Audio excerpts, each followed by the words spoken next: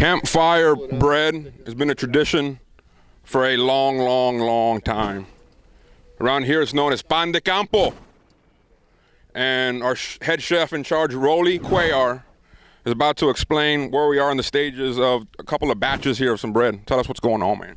I'm making uh, pan de campo, which basically all it is is uh, camp bread.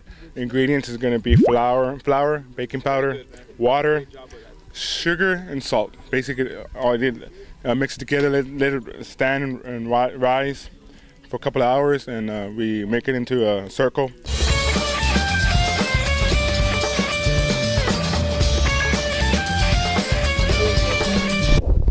Uh, we got we got the dough here, but like like I said earlier, it's just uh, flour, baking powder, salt, water, sugar, and I'm just gonna bring it out and bring it out like a big old tortilla.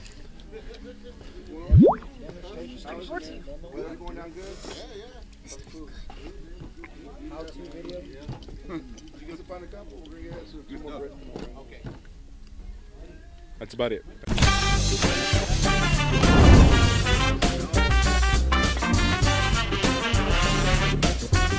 We got a 14 inch and a 12 inch Dutch oven, and I have one. I have one right here coming out right here. Right How close are we on these batches? Can we look at one? Yeah, we can look at this one right here. Open it up. I'm gonna turn it right here, and just turn it. I don't like to flip it. Basically, it's, it works like an oven.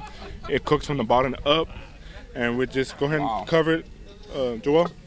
And that one's almost ready. Probably give it another two, three minutes. I'll take it out. Perfect. Little honey, a little butter.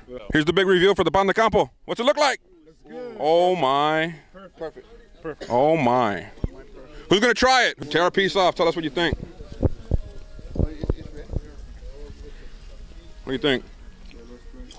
It's better than the other other bread I've. Whew. It's like the best I've ever had. Whew.